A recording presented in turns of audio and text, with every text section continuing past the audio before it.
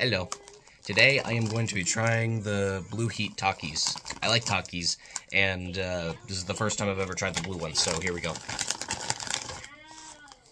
Blue. Mmm. Spicy. Yeah, it's spicy, but I, I, I like it. It's really good. I don't like spicy. Well, I do, so it's a win for me. Simple video, but are you I sure? don't, I don't want to try it. Are you really gonna torture yourself for views? Oh my goodness. I don't like spicy. I'm not going to take a big bite like he did.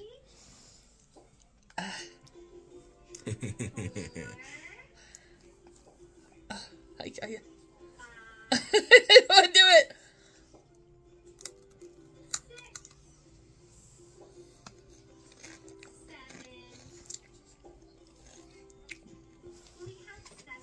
nope. Not a fan. I mean, the flavors, the flavor's actually nice aside from the Spice. spiciness. Um, Want some milk? uh, I just ate Oh, the other half. Right, right, you got the drink. Right. Um, how do? How to what? Um, okay, it's probably not that spicy for most people, but for me, Well, it depends on if you like eat a lot of spicy food. Like if you're. Used I don't eat a lot. Yeah, it kind of shows. Uh, well, it's not the worst spicy thing that I've eaten.